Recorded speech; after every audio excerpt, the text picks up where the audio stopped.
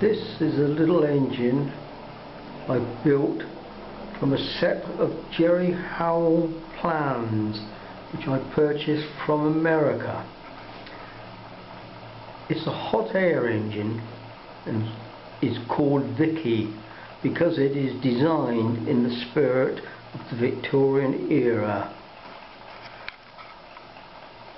As you can see it stands on three fluted pillars and there are a number of other embellishments that were typical in the Victorian times.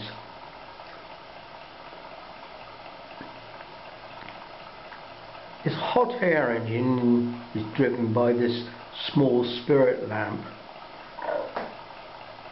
but is unusual for a hot air engine in that both the power piston and the displacer piston have crossheads which are more in line with steam engine practice.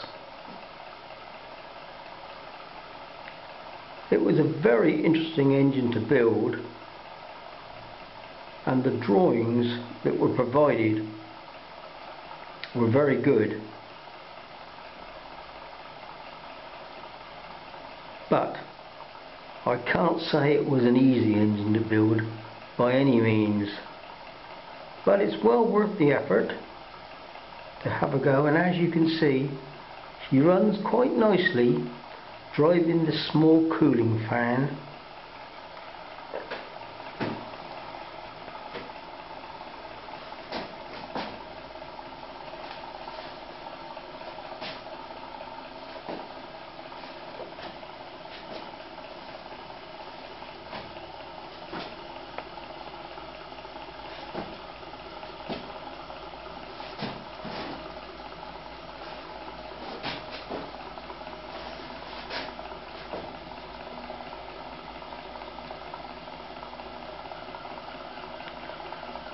You can see the small cooling fan there driven by a cassette belt.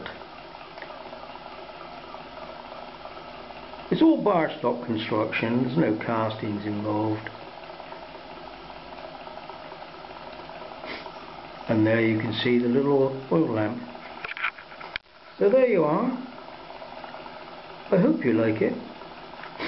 Bye.